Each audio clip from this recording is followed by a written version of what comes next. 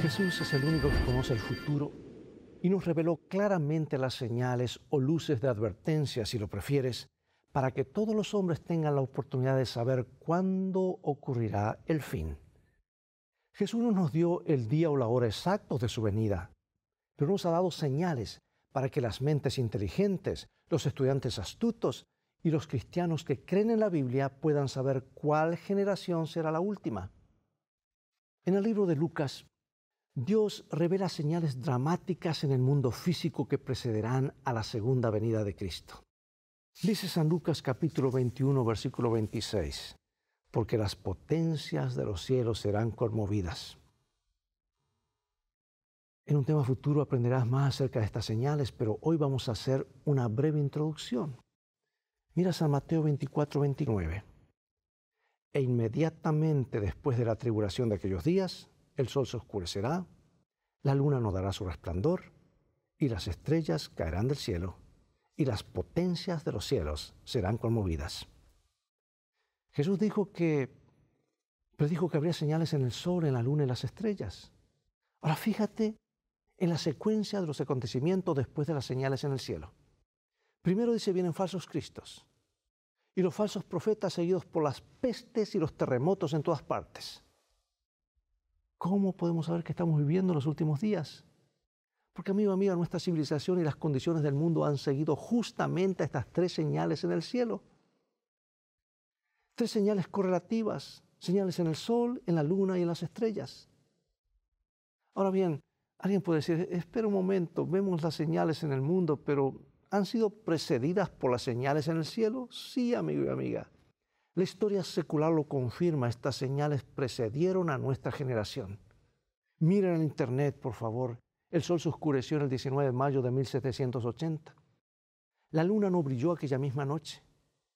Las estrellas cayeron del cielo el 13 de noviembre de 1833. Ahora estos eventos están registrados en este orden en el Antiguo Testamento y en el Nuevo Testamento como señales dadas por Jesús.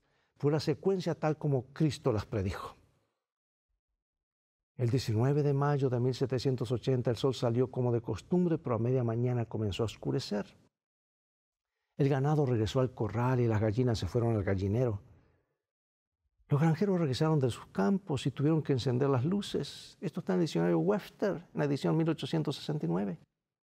Incluso la legislatura de Connecticut en los Estados Unidos pensó que había llegado el fin del mundo. Y algunos presentaron la moción de suspender la sesión, pero otros dijeron, no, no, si este es el fin que Dios me encuentre cumpliendo mi deber, propongo que las velas continúen. Y aquella noche la luna apareció roja como sangre, tal como había profetizado Jesús. Y ahora, 50 años más tarde, el 13 de noviembre de 1833, cayó la lluvia de estrellas más grande que se haya registrado en la historia. Los meteoritos caían a toda velocidad en el cielo desde Maine hasta, México.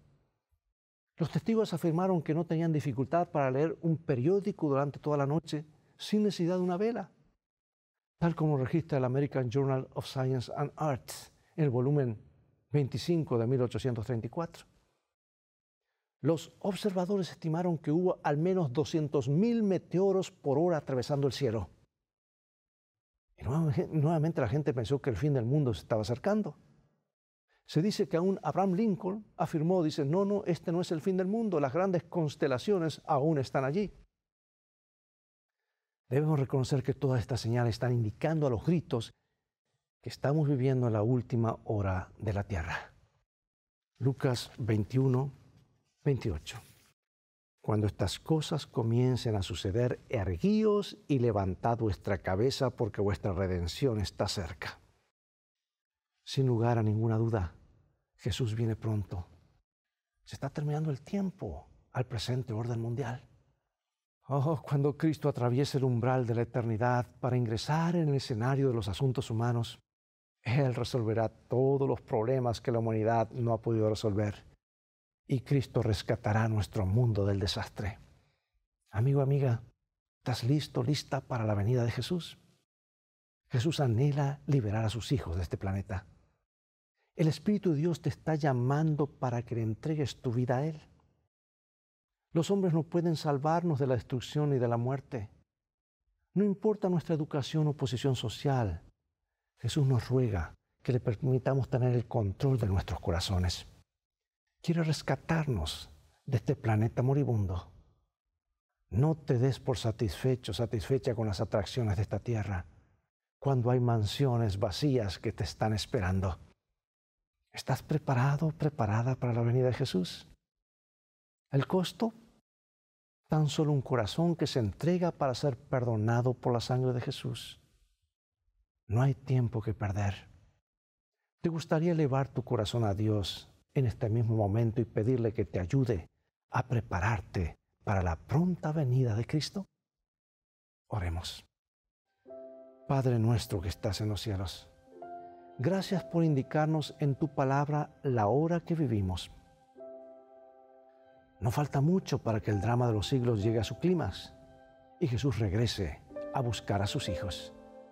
Vemos señales claras por doquier indicándonos que algo grande se acerca. Fueron profetizadas hace siglos. A nosotros nos toca vivirlas hoy. Gracias porque al ver estas señales podemos levantar nuestras cabezas y saber que nuestra redención está cerca. Y a pesar de que las luces titilan en este mundo indicándonos que las cosas no están bien, Ayúdanos a mantener los ojos puestos en Jesús, que quien pronto viene a buscarnos. Queremos estar listos para su regreso y queremos morar para siempre con Él en ese bendito país. En el nombre de Jesús oramos. Amén. Quiero invitarte a que te puedas suscribir a nuestro canal de YouTube y puedas recibir todas las notificaciones activando la campanita para que te des cuenta de todo nuestro contenido más reciente. Si este video te gustó, recuerda darle like y comentarlo para que muchas personas puedan seguir disfrutando de contenido como este.